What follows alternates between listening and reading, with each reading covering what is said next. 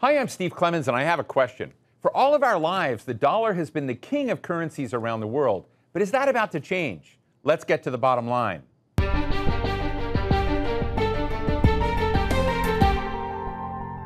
What's happening to the almighty US dollar? For decades, it was the reserve currency of the international oil trade, which propped up its value and its demand from Albania to Zambia. But now more and more countries are making deals to trade oil in other currencies as an alternative to the dollar. And that raises questions about the current world order, which is run by the United States, period. China might be leading the way in the de dollarization efforts, but more and more countries are jumping on that bandwagon, like Russia, Brazil, and Saudi Arabia. How nations trade in oil and gas has helped keep the dollar, aka the petrodollar, at the top of the heap. Do recent shifts mean that America and the dollar are being downgraded as the world creates alternatives?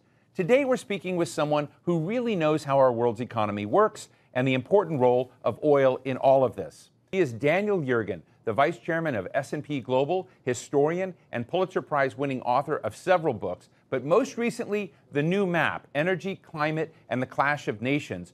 But in this, you foretold really the Ukraine crisis. You foretold what the world needed to worry about by way of various squeezes on oil and gas that could come, either through climate policies or from Russia weaponizing energy. As you look at it now, what's the situation? Well, I think if you look at it now, of course, you've seen all these trends unfold. And I think no one, I mean, I did see a war coming over Russia and the West over Ukraine, didn't see it as something that would go on for over a year, and I don't think anybody did. Vladimir Putin certainly did not. He thought it'd be over in five days, and his troops brought their dress uniforms for a victory parade. Uh, there are a number of other big themes in the new map, but clearly the other that's so significant goes to what you're talking about about the dollar is the fact that the U.S. and China have moved from what I called in the new map the WTO consensus. We're all in it together. We're all in globalization. To this incredible, increasingly sharp, great power competition and around the world, when I talk to the world leaders in different continents, they all say, we don't want to have to choose between one side or the other, but that's where we are now. So, where does this go? Because I think the way you just framed it is really interesting. Because if you end up with a very divided world, and you end up with Europe and the United States in one camp, maybe Japan, you end up with other parts of the world that may have, you know, India hedging its bets, uh, uh, Russia and China tying up. Is that a world where the transatlantic relationship has enough room to run. Well, the transatlantic relationship has become a lot more important, especially since this, this war started. And one of the things, one of the many miscalculations that Vladimir Putin made was he assumed that NATO would fall apart, that high gas, uh, natural gas prices would cause political change in Europe.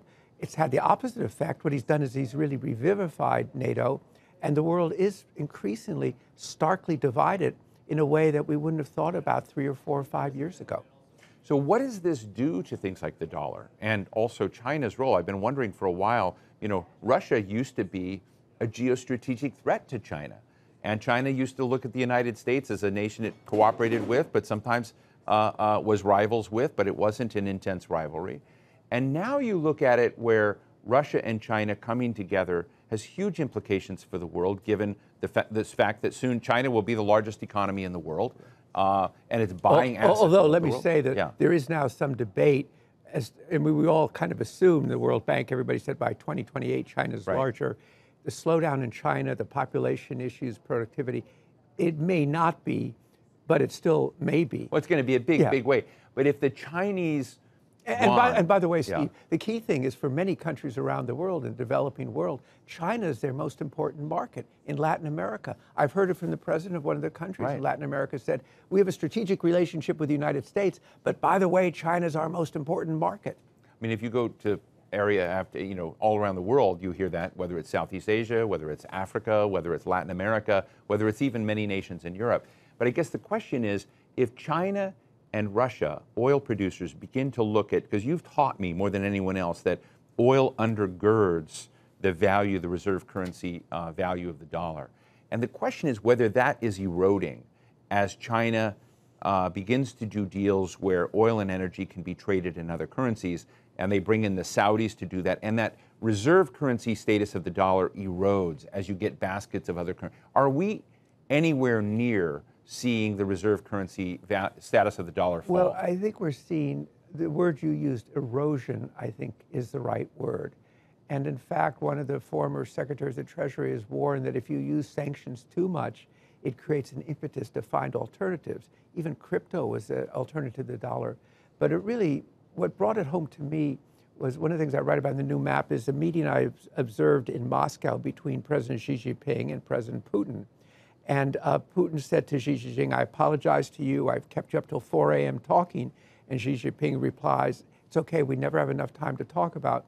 One of the main things they clearly talk about is, is changing the international order in which the U.S. and the U.S. dollar plays this central role. They want a different kind of world oil, world order. And in this case, of course, as a result of the war, I think Russia's actually, and we can get into, is no longer going to be an energy superpower, but it will increasingly be a dependency of China. And I think the really interesting thing is, and I'm going to probably get a lot of negative mail for this, is when you think about having the reserve currency status of the dollar, or uh, you've got a you know transnational public good, which the United States is the anchor of, it means bad guys deal do deals in your currency. It mean, means that thugs and criminal gangs and you know, bad people out there use your currency because that's the currency for everyone. Once you begin sanctioning or blocking or using the SWIFT system to undermine transactions, isn't it logical that those players then go and try and find alternatives? Yeah, they have a tremendous impetus to do it. Now, so far, I think if you see uh, barrels of oil priced in yuan, it's still refers back to a dollar price at this point. It isn't. A, it isn't like you've entered a separate universe. It's still, so it's not a fully honest yeah, yeah, replacement of the yeah, dollar. Yeah, and it becomes, but it, it's a symbolic message, but it's still anchored in the dollar. And if you really think about this whole world economy since World War II, what has enabled globalization, which enabled this, all these connections that have made, you know, economic growth possible, it's uh, the dollar has been a bedrock for it. You know, one of the things that's begun to emerge is we've seen Chinese diplomacy take flight. And uh, I was in the Middle East. I think I was talking to you. And uh, when I was over there, news broke that the uh, foreign minister, uh, who used to be ambassador of China to the United States, had brokered a deal uh, between Iran and Saudi Arabia. Um, we've also seen uh, just recently French President Macron in Beijing basically saying we're not that fully aligned with the United States on issues like Taiwan. What's going on? Well, I think what we've seen is that China is now become an assertive power in global diplomacy. And although initially people will say, and it was the Saudis had a strong interest for some kind of stabilization because Yemen and the Houthis and those attacks from, on Saudi facilities, on Saudi cities, uh, is deeply destabilizing. So I think they had an interest. Iran's economic position is so bad, but it is that they had an interest. But the fact that China could claim to have done it, that's a pretty powerful message. And of course, it's a complicating message because there's one country that the U.S. Uh, is very much arrayed against in the Middle East is, of course, Iran. But I mean, well, I'm going to get into that in a second. But you know, you know, China also signed a 25-year deal with Iran called the Strategic Cooperation Agreement. Um, I mean, that, so we're looking. Are we looking at a structural shift there of essentially the anti-Western axis? Well, I wouldn't go that far because I think, yes, in terms of Russia, obviously, in terms of Iran, the thing that gets overlooked in all the discussions is how integrated the U.S. and Chinese economies are. Even as we talk about, people talk about reshoring or friendshoring, moving supply chains. These two economies are so interconnected. Sometimes I think the leaders and the political leaders don't realize how connected they are and how fundamental that is to the global I mean, economy. China is America's largest trading partner. Yeah. I think we do more than $700 billion yeah. of trade each year. So it is enormously, you never hear that in Washington. Yeah, that just, and there's a sense, I, I was in a meeting not so long ago where I heard people say, well, we'll move all the supply chains. It's much more complicated than that. I mean, we have two really big trading partners. One is China, of course, the other is Canada. But uh, the, the Chinese one, you know, parts, just everything, it doesn't run with, without it. Now, you know Saudi Arabia history and behavior better than anyone I know, and you know the realities of what they can do in terms of oil production. They've just uh, decided to cut another million barrels of oil production, and you know, Ha- half a million. or, ha- or is it half? Excuse me for that. But I think when you kind of stay on top of these things. when It you changes, when you you know, sort of look at the the uh, the direction things are going, I'm just interested in whether Saudi Arabia at this point is beginning to feel its muscles coming back in terms of being a global power, dictating uh, price of oil for the United States, and hedging its bets on a relationship with President Biden's White House that it may not like too much. I think it's, it's true. I mean, Saudi Arabia is in a different position today. Clearly, uh, it's going through a big program of economic reform. And when you're there, you can see it sort of unfolding in front of your eyes. Uh, obviously, there's a lot of oil revenues flowing into the country that are being deployed in a lot of different ways. And I think Saudi Arabia sees itself as a, not only a regional power, but as a global power, and certainly as a global economic power. And there's a degree of confidence there uh, that has come with a new generation uh, playing such a decisive role in the country. Did the U.S. mismanage that relationship? Did Joe Biden mismanage that relationship? Well, I wouldn't want to judge that But I mean, one. but, but it raised. I mean, the Saudis, you know, different pockets of Saudi Arabia gave Jared Kushner a two billion dollar fund to play with.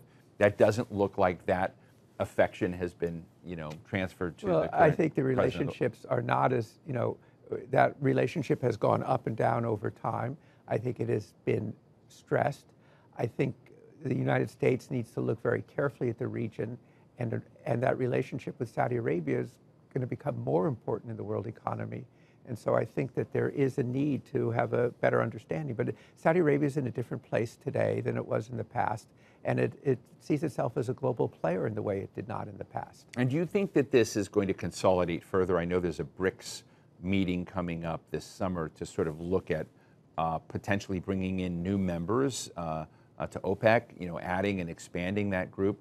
Are there geostrategic consequences that would flow from those developments? I think so. I think, uh, and remember, Russia still uh, continues to be a charter member of the BRICS.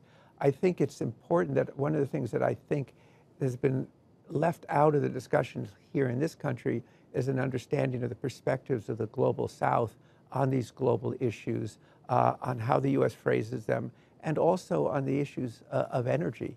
And again, the global South looks to uh, uh, you know, China as a main market. The very interesting country is the position of India, which on the one hand is uh, India and China have their own very big historic rivalry and competition and have been uh, exchanging of bullets. But India is also hedging its bets, and I think you used that word before, in terms of its relationship with Russia, because it does not it does not want to see Russia get too close to China. So there are other games being played that the U.S. is actually part of right now. Dan, you know, um, we're having a very heady discussion full of foreign policy and economic policy and oil and energy. But if you read your book, to me, what's so wonderful about it is that it reads for me like a Netflix series, if you will, maybe an Well- HBO series, that it's full of vignettes of unusual moments, uh, people's stories of how they impacted this, exchanges between individuals that is full of serendipity, that if certain things didn't Yes. happen, we would not be in the place where, where we are. Can And I we- give you a great example? Yeah, give me an example. I love wonderful. these Yeah, stories. I mean, that's the thing. I, as a, somebody who writes history, you know, there's a tendency to think everything is preordained, that, Right. but actually, history is full of accidents. For instance, a lunch in Los Angeles at a fish restaurant in 19, uh, 2003. Uh, Elon Musk, having made a lot of money with PayPal, is having lunch with a young electric fanatic, almost, I won't call him fanatic, but enthusiast named J.B. Straubel, who wants to get him to do an electric airplane. And Musk says, I'm not interested in that. He says, Well, what about an electric car? He says, I'm interested in that. That becomes Tesla. And a- a few years ago, Elon Musk said, if that lunch hadn't occurred, there might not have been a Tesla, and we not, might not be seeing all the automakers in the world hustling to develop electric cars. And you know, if that lunch hadn't been there, history might have been different. Well, it raises the question for me of what other vignettes and moments you're storing up that we may not see because you know I know the new book is out now, but but these moments when we're looking at cobalt, lithium, geostrategic competition, oil and energy, the dollar, whether or not we we look at these kind of highbrow issues too seriously, that there are really interesting questions down below about I don't know Chinese pride or uh, Russian sense of humiliation, which I, I, you know, driving you Well- know, some well, abhorrent think- things in Ukraine. yeah. But uh, you know, Germany giving up its nuclear. Uh, Yeah. plan. I mean, I'm just wondering if there are other Well, there- we should be aware of. Yeah, well, the ones I'm, I'm really interested, you mentioned minerals, copper and so forth, coal. coal. I'm really quite obsessed with that right now because uh, there's this notion that in 25 years we can do an energy transition from an economy that's 80% hydrocarbons to one that sort of is net zero. And it's going to require an enormous amount of minerals, and people haven't really looked at the amount of minerals that are necessary. So we, our company S&P Global, did this eight-month study on it, and some of it's reflected in the new edition of the new map. Uh, and you know, an electric car is two and a half times more copper than a traditional car. I mean, things like that that people are not thinking. You add it up and you say, well, wait a second, the world's going to be a lot more focused not only on big oil, it's going to start thinking about big shovels, about mining a lot more than it has in the past. Well, I mean, I think this raised the interesting question about energy transitions because you talk about the history of them.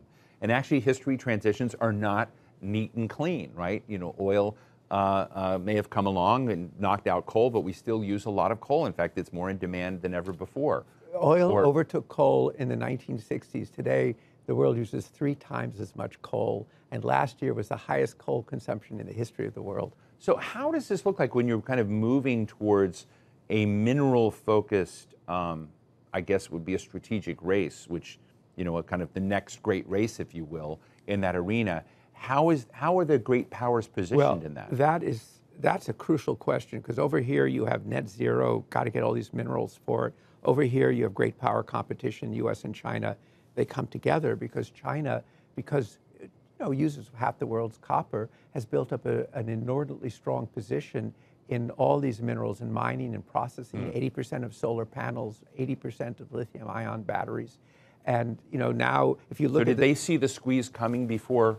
I think they other initi- I think they states? I think they initially did it because they were trying to assure that they had the the raw materials they needed for their rapid economic development. But I think it's now taken on this uh, very much a strategic uh, concept for them.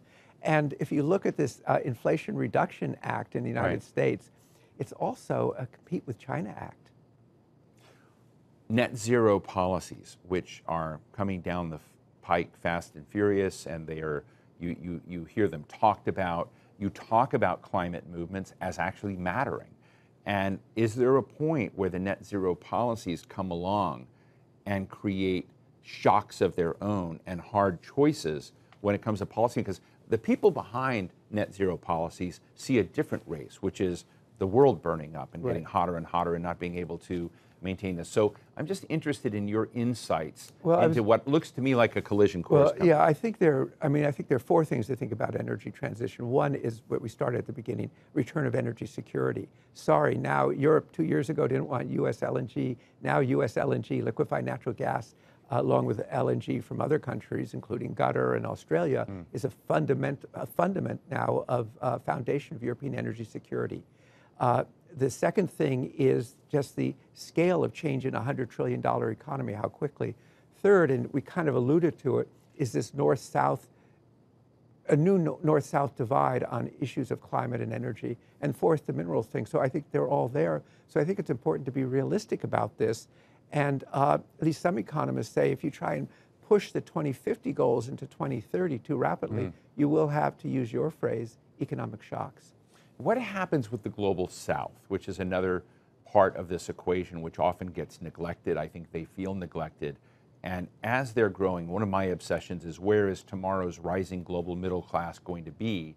It's really not. The terms of net additions to global middle class are not in the transatlantic relationship. They're in all these other Their parts populations of the world shrinking. that, that, that don't have the same economics of energy as the developed world has. So here's a, uh, you wanted an anecdote. So Yeah. I, I was chairing a seminar with African energy ministers, and they were complaining about their inability to get finance from European banks to develop things like natural gas pipelines so they don't have to, women don't have to spend two hours a day gathering wood. They don't have indoor air pollution, which kills people and so forth.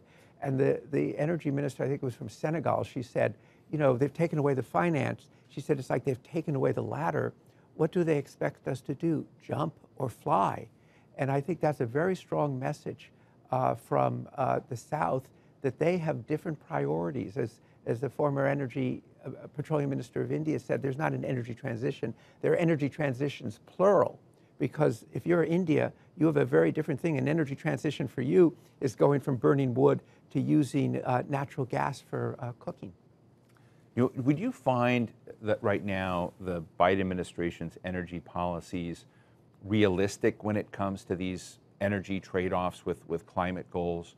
Um, I've, I've noticed that he's you know tried to put some marks down on preserving you know vast areas of forest while opening up areas to uh, oil development and, and whatnot that you would, you would not have thought of Joe Biden would have done. Where is Joe Biden in all of this? I think it's I think they're they're feeling the pressures coming from different directions. One, they came in with a very strong climate uh, objective uh, right from the day he was in the Oval Office on the first day, to the fact that. Well, do you think John Kerry likes Joe Biden's energy policies? Well, I think he, John Kerry is even saying, well, you can still use natural gas if you abate the carbon. Hmm. So uh, I think there's an evolution there. And they looked at it, and I think they also saw that in fact energy security had fallen off the agenda in the United States because of the shale revolution. It came back and measured in terms of high prices. And so I think we've also had them encouraging domestic, you know, domestic energy production. So I think it's been complicated for them to how to put these two positions, energy security and energy uh, and energy transition together. I would not have expected um, France, a key partner, recently hosted with a state dinner here in Washington, to be the one to throw the first big crack in that with regards to China's place in the world? Well, I think that uh, obviously Europe looks at China differently as a very important market. Uh, Macron has always had, you know, he was the one who thought, well, I can persuade uh, Putin, you know, not to go to war or to stop it. And I think he's trying to, you know, in a sort of Charles de Gaulle way, uh, have an independent French foreign policy. But he's also part of the EU and he's part of NATO. I imagine there was some pretty strong back channel communication uh, about uh, messaging there. And of course, the president of the EU was along with, with him, and she was left out of some of the very important meetings because she's taken a different line on China. So I think if you're looking to the future, uh, Steve, clearly the most important and the most dangerous issue is this great power competition and how particularly China and the United States manage it to avoid conflict and you know, I write about the dangers of the South China Sea, which people are not much focused on. Obviously, Taiwan. I think that, that that's going to be the dominating geopolitical issue, and it's going to take real statecraft to manage it. Well, with that, Daniel Yergin, Vice Chairman of S&P Global, economic historian, and most recently author of The New Map, Energy, Climate, and the Clash of Nations. Read it. It's fantastic. Thanks so much for being with us today. Thank you, Steve. So what's the bottom line? It seems the United States has finally reached the tipping point of how far its sanctions can go. For decades, it's been waging or threatening financial warfare on dozens of countries that don't follow its rules.